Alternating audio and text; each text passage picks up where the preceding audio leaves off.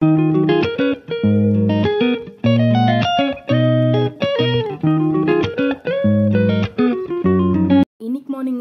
எல்லாருமே வந்து squid stir fry தான் பண்ணலாம் சொல்லிட்டு நான் பிளான் பண்ணி வச்சுருந்தேன். ஸ்குவிட்னா ஒன்றும் இல்லை அதை வந்து ஆக்டோபஸ்னு சொல்லுவாங்கல்ல கடம்பாவும் சொல்லுவாங்க. அதுதான். இன்னைக்கு வந்து அது ஸ்டிர் ஃப்ரை பண்ணலாம் அப்படி சொல்லிட்டு கழுவி நல்லா கட் பண்ணி வச்சுருக்க ஸ்குவிட்லாம் வந்து ஒரு எக் யோக்கு கொஞ்சம் garam masala chilli powder salt soya sauce chilli sauce and tomato ketchup இது எல்லாத்தையும் போட்டு நல்லா மிக்ஸ் பண்ணி மேரினேட் பண்ணி ஒரு ஓரமாக வச்சுக்கலாம். மேரினேட் பண்ண ஸ்குவிட் வந்து ஊறுற வரைக்கும் நம்ம வந்து கொஞ்சம் வெஜிடபிள்ஸ் வந்து கட் பண்ணிக்கலாம். இன்னைக்கு நான் வந்து கேபேஜ் அண்ட் கேரட் தான் வந்து யூஸ் பண்ணிக்க போகிறேன் உங்களுக்கு வந்து ஃபேவரட் என்ன வெஜிடபிளோ அதை எடுத்துக்கலாம். எனக்கு எப்பவுமே கேபேஜ் அண்ட் கேரட் தான் ரொம்ப பிடிக்கும். ஸோ எனக்கு கேபேஜ் எடுத்து அது குட்டி குட்டியாக கட் பண்ணிக்கிட்டு அதுக்கப்புறமேல்ட்டு கேரட்டை வந்து நான் என்ன பண்ண போகிறேன்னா வந்து சீவ போகிறேன் நீங்கள் குட்டி குட்டியாக கட் பண்ணிக்கலாம். எனக்கு துருக்குன்னு ரொம்ப பிடிக்கும். எனக்கு துருக்குன்னு தோணுச்சு. அதனால் வந்து துருக்கிக்கிறேன்.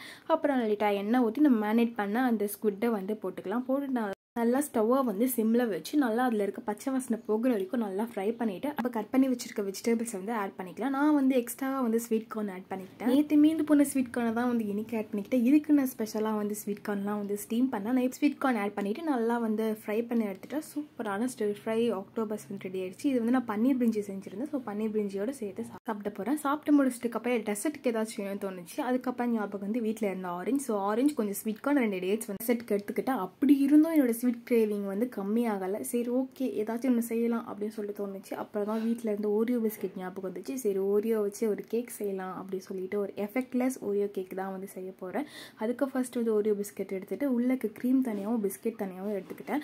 அப்புறம் பிஸ்கெட் எக்கு எல்லாத்தையும் போட்டுட்டு பிளெண்ட் பண்ணி எடுத்துக்கிட்டேன். வேறு எதுவும் ஆட் பண்ணல. வெறும் பிஸ்கெட் அண்ட் எக் இது ரெண்டு மட்டும் தான் வந்து ஆட் பண்ணேன்.